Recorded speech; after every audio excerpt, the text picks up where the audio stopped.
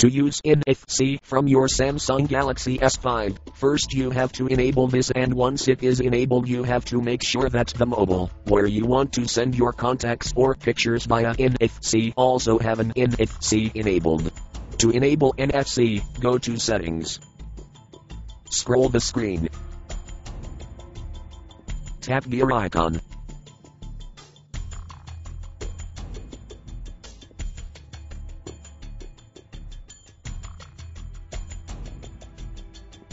Tap NFC.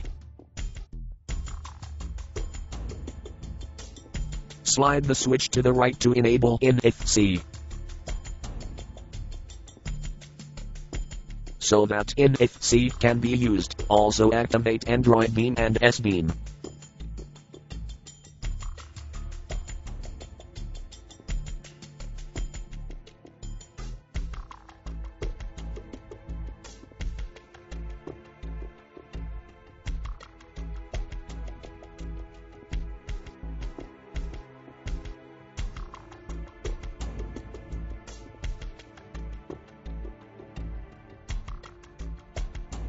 Make sure the receiving device is also available in NFC services.